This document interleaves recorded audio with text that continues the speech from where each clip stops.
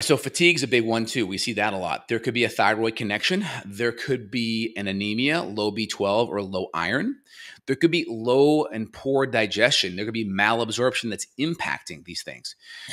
Women could be very well intentioned trying to be vegan, vegetarian, and driving these deficiencies, even though they think they're doing something good for the environment and their body, but maybe they're not, right? Because they're having these issues. And also, some women, they may overdo intermittent fasting. And with intermittent fasting, yeah, there's some benefits, but if you're chronically low calorie, then you're probably low nutrient as well. And that's going to create a stress response in the body.